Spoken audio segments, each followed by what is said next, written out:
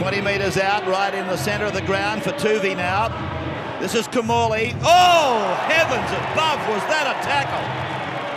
Darren Britt on Adam Muir.